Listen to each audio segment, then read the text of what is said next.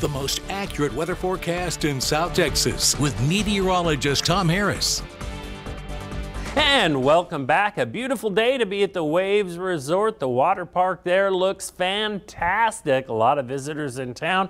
Imagine a lot of families out there enjoying that. Now, along the southeastern United States, the surfers are enjoying some of the waves that are going to be coming in, and they're only going to be building over the next couple of days. But you got to be careful because they're going to have high risk of rip currents. You can just watch this one wave, whoops, and down he goes. But uh, we could see some increased surf here also later this week if there is a system that develops in the Gulf. Right now we're at 92 degrees with some cloudy skies. Winds are a little bit breezy out of the east at 13 miles per hour. High temperature today 96 degrees. That's 3 degrees above normal. We saw no rainfall out at the airport, so still more than seven and a half inches below normal. Now temperatures around the coastal bend 87 in Rockport, 96 in Beeville. Alice is coming in at 94, but when you're factoring the humidity feels more like 101 in Beeville, 99 for us, 93 in Rockport. But the breeze definitely helps blowing out of the southeast, about 10 to 15 miles per hour. Now the winds are going to be calm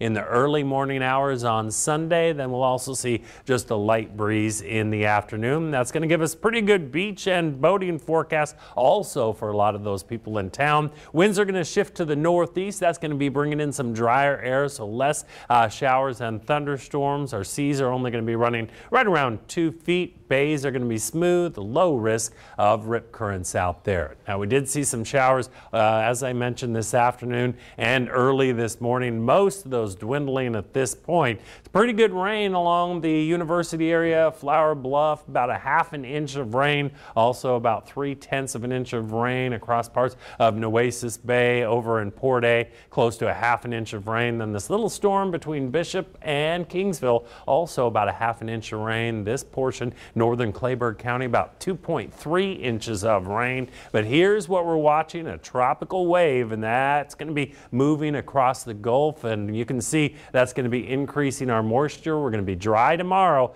but then we'll see that moisture coming closer on Monday, isolated showers to more scattered Tuesday and Wednesday. But of course, Hurricane Dorian is what all eyes are on the next couple of days. It is a Category 4 hurricane, winds of 150 miles per hour, gusting to 185 miles per hour. Now, this is going to impact much of the southeast. The good news is the track has shifted a little bit off to the east, so it may not make an, a direct hit across parts of Florida, but it's going to stay a category two all the way up across parts of the Carolinas. Here's a look at our forecast for tonight. Partly cloudy, isolated showers. Look for an overnight low 77 degrees. The bit drier tomorrow, 96 degrees. Seven day forecast brought to you by NEC Co-op Energy. It's going to be warm tomorrow. Isolated showers on your Labor Day, but still pretty good. 95. This is what we're going to be watching. Scattered showers if that moisture stays in a tropical wave. It will also